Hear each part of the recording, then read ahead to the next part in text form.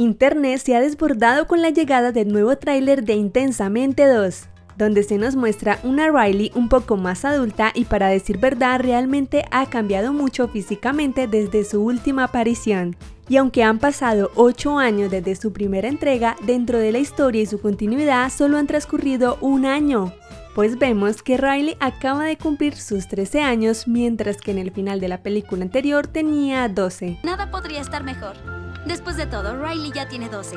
Por esta razón se me hace muy extraño que el aspecto físico de Riley en esta nueva entrega sea muy diferente. Aunque quién soy yo para decir si precisamente esta película se trata de las hormonas y sus cambios repentinos.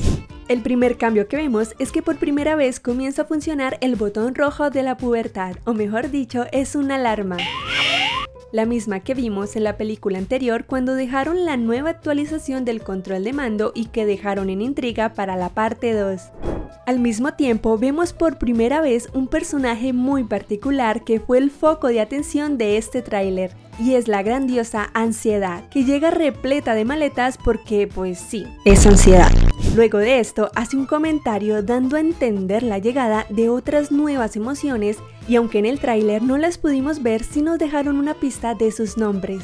Sin embargo, en el póster oficial nos dejan entrever el aspecto de estas nuevas emociones y lo que significa para esta entrega. Por este lado tenemos a Nvidia un personaje de color verde agua que representa la expresión coloquial como ponerse verde de la envidia. Enseguida tenemos de color rosa a vergüenza, desde el punto de vista del sonrojo, la conexión con la vergüenza y la relación con el rubor facial que a menudo se vuelve una respuesta involuntaria ante situaciones embarazosas. Al parecer se trata de un personaje de un gran tamaño, pues vemos la gran extensión de su mano al intentar sostener el mural que sostiene en la cabeza.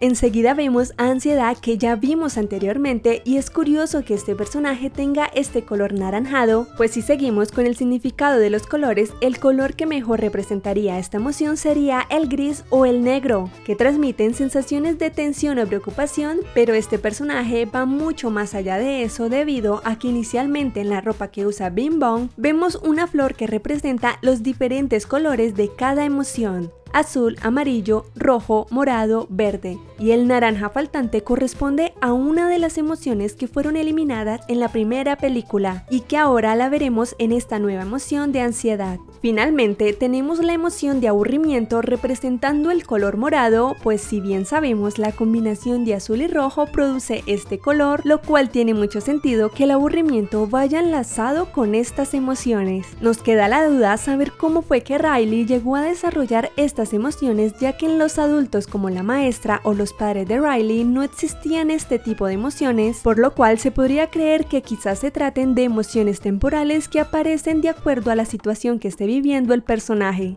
siendo así las emociones primarias como alegría, tristeza, ira y desagrado quienes tengan el control principal de la mente. Algo muy curioso que vemos en el tráiler es al final del mismo escuchamos lo que parece ser la risa de Bing Bong.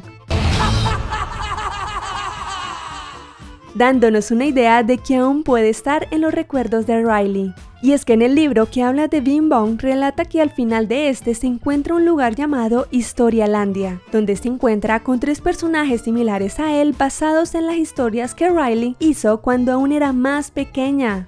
Habría la posibilidad de que quizás podamos ver a Bing Bong haciendo parte de las emociones o recuerdos felices de Riley. Esta película llegará a las salas de cine en junio del 2024. Y cuéntame, ¿también estás ansioso de conocer lo que nos trae estas nuevas emociones? Déjamelo en los comentarios, nos veremos en un próximo video.